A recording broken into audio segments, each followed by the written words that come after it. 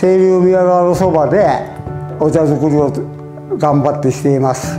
もう40年ぐらいになります。親子仲仲良うやってますので。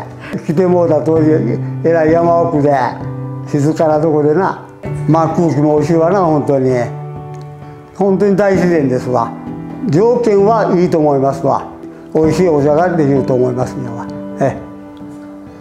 やっぱり一にお茶の蒸し器。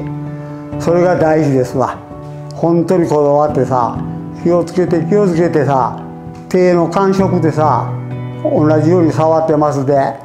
そのあのお茶の温度っていうのがさこう時々見てさな機械の中に手を突っ込んで体温よかちょっとまあ抜く大かいなっていう感じやなお茶葉のあれはな。もう間違いないと思ってさ手の方が。これはもうそれでやってますんでこだわってやってます。はい。目で見たり手でやったりさうん。